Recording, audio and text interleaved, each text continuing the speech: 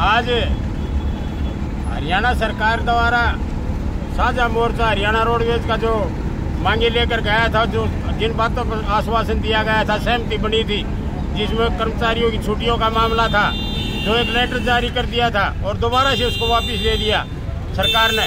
और वही की, वही डाक के तीन पास छुट्टियाँ दो हज़ार चौरानवे से लागू करके और कर्मचारियों के साथ एक बड़ा विश्वासघात किया है। और अन्य मांगे जो कर्मचारियों की थी परिवहन मंत्री की देखरेख में एसीएस परिवहन ने पीएसटी साहब ने जो मंजूर की थी, उन मांगों को धरातल पर लागू नहीं किया गया। इसके विरोध में आज ये जो एसीएस का पुतला जो है, वो पूरे हरियाणा में साझा मोर्चा द्वारा पूरे हरियाणा में जलाया जा रहा है, हर डिपू सतर पर।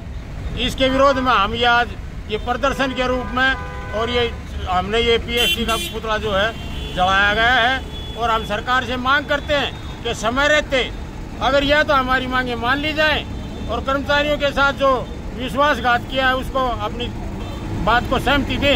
नहीं तो कर्मचारी आगामी आंदोलन के लिए बिल्कुल तत्पर तैयार है इसमें कुछ भी हो सकता है। जो हड़ताल पर भी जा सकते हैं और भी किसी प्रकार का कोई आंदोलन कर, करना पड़ा तो कर्मचारी किसी सूरत में पीछे नहीं हटेंगे।